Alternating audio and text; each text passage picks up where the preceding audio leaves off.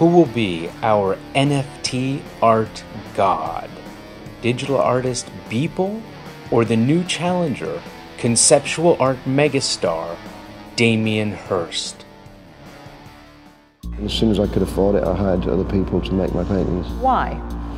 I just don't think it's important. What's important is that the end result is exactly what I want. Even if it's not your hands doing the work. Well, I mean, I feel like it is my hands doing the work. It doesn't matter whether I actually physically do the work or not, as long as I'm making sure that the end result is what I want. I don't really have time to like sketch a million things out and revise this idea. It's really got to just be like run and gun, got to get her done.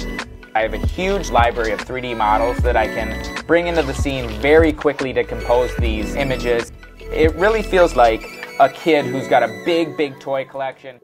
Contemporary art megastar Damien Hirst has wrestled his way back into the art world spotlight.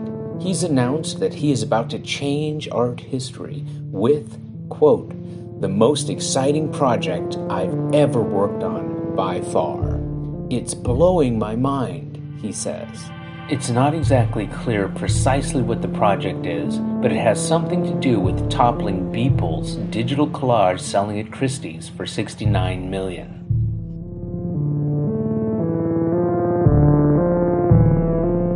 Beeple, or originally Beeple Crap, real name Mike Winkleman, is a digital artist working primarily with Cinema 4D to arrange dynamic scenes targeting popular culture.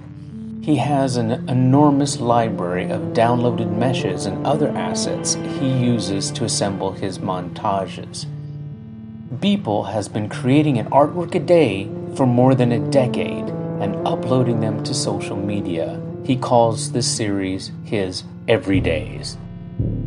Sometimes digital artists are criticized because it's assumed they don't know how to draw or paint.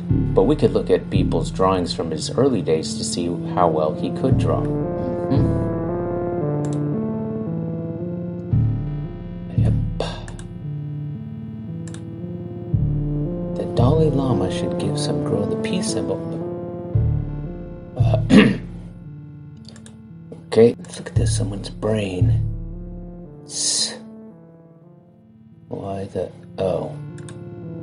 Yeah, so clearly he um, had mastered portraiture and he's got the anatomy. The uh, legs are. Oh, look at that hand. Uh, well, but uh, uh, here's here's a. Uh, look at this guy. He's got the uh, douchebag. Uh, well, okay. Oh. Yeah. I don't really like the term artist because it sounds very pretentious and douchey. Like I would never be like, I'm an artist. But here's a sampling of the stuff he's super duper famous for, at least for a digital artist. Oh, there we go. Oh. It's a lot of. There's Trump. Let me find it a good one. Kim Jong Jackson. Because, see, what he's trying to say here is that Kim Jong Un and Michael Jackson, they, um, hmm. But at least we know that he he modeled the he he modeled Kim Jong. No, he wouldn't have been able. Well, I do like the the colors though and stuff on this one. I mean, he does. Uh, oh, here we go. Here's a Joe Biden. Donald Trump is nursing Joe Biden because that's the. It makes sense. It just. I, I need to spend more time with it to figure out. It's Hillary Clinton. So I guess he downloaded a. Someone made a model of Hillary Clinton. He downloaded it. And then Donald Trump is in her brain. that makes sense. That makes sense. There are some really good ones. Uh, oh, here we go. I kind of like this one. Yeah, some gross monsters. So when I first saw Beeple, I'd see something like this, and I thought it was pretty cool because the way he sculpted it, rendering, getting the lighting right and stuff. And then when I found out he downloaded the models and placed, you know, he arranged them in Cinema 4D, which is its own skill. It's, uh, I guess I, I learned to appreciate that it's the idea that you're getting. The idea here is that, um, um, anyways, I think you, oh, I like this. Oh, it's someone fighting, uh, with Tom Hanks. Is that, that's Tom Hanks beating the shit out of the coronavirus. And he could have downloaded a better Tom Hanks, I think, because I didn't even. I thought that was Elon Musk. So, but uh, it's. Uh, I guess it's an idea. Tom Hanks. Oh, here we go. Here, that's pretty. See, something like that. It's pretty. I, I actually like this one quite a lot.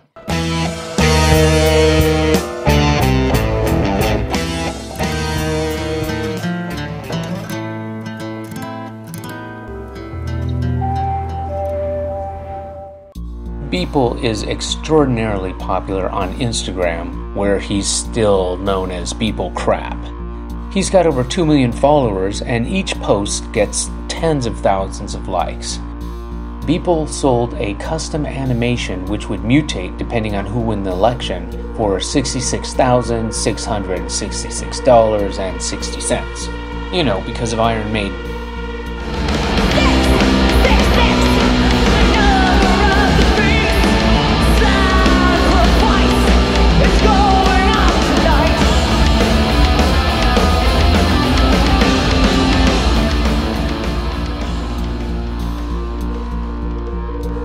So this is the piece Beeple created for 66,666.60 and it was uh, prior to the presidential election. And first we start off with this view. So we have Joe Biden and Donald Trump naked in amniotic fluid or something sci-fi environment. They look like they're about to throw punches. And then if Trump would have won, we would have seen this one. So the evil monster Trump is uh, tromping like Godzilla over the Armageddon with a crown. He's crowned himself king. Okay. And if Biden won, which is the end result, this is what we would see. Loser. And what is that? Each? Oh, each. No. Okay, so something. And these walkers are very. Looks like uh, he took the time to animate them individ. Well, not individually, or he downloaded an animation, anyways. And uh, if his politics aren't clear, there's this one to look at.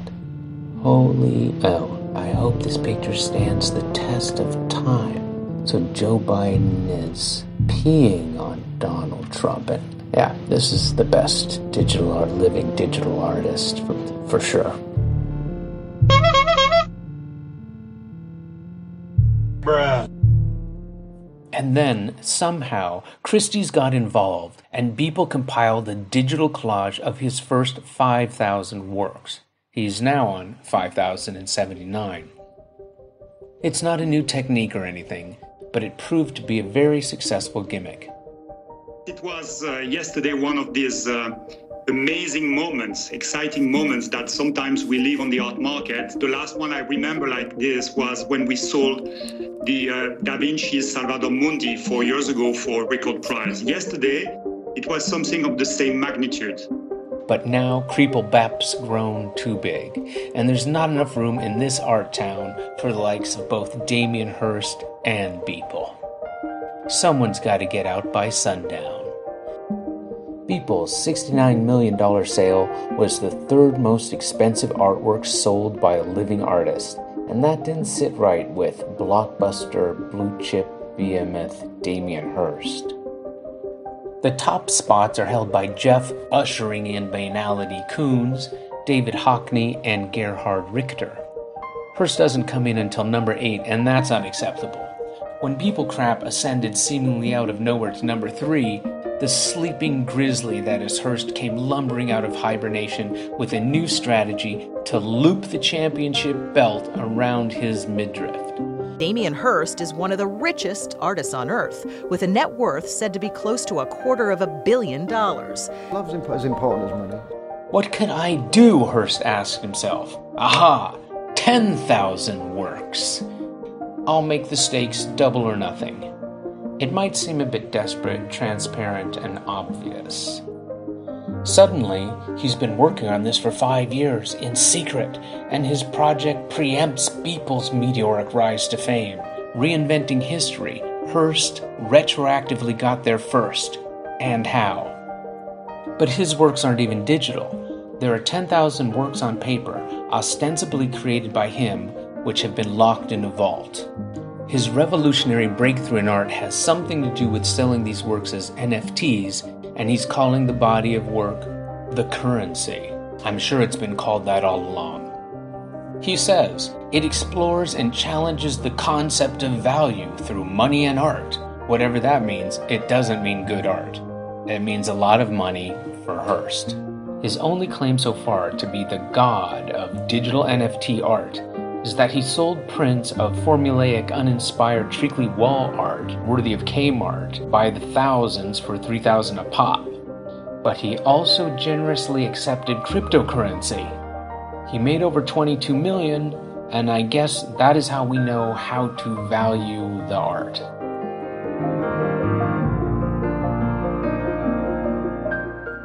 This is what he said about his cherry blossom paintings. Cherry blossoms are about beauty and life and death. They're extreme. There's something hopeful yet hopeless about them. They're art, but taken from nature. They're about desire and how we process love and why we need it. But also, these prints are about the momentary, the insane transience of beauty. A tree in full, crazy blossom against a clear blue sky. How can you argue with that? Well, I guess my argument would be that they look like also ran get well cards for grandma. There was a brief window of days when it seemed like digital artists who had been working for years or decades with little or no hope of making money out of their passion would now have an opportunity. But right on cue, the bloated giants of blue chip baloney art swooped in to try to snatch up all the opportunity for themselves. Soon, if that's the way things go, digital artists will be squoze out of the picture, and the oligarch artists of decades past will blot them out of existence. I read an interview in which you described some of your work as shit. Is there any? Shit. Yes, shit. You used the word shit. Is there any work here that's shit? Well, it's funny because I sent, a, I sent um, a text to Jeff Koons recently where I said, I love your shit. There's a renaissance of digital art going on right now. In digital painting and especially 3D art. Hirst is a dinosaur of institutional, gallery and museum, monumental, conceptual art that has absolutely nothing to do with digital art. Making a digital sale of art is not making digital art. And just scheming to sell minted tokens of his assembly line schlock drawings on paper isn't any sort of breakthrough in art.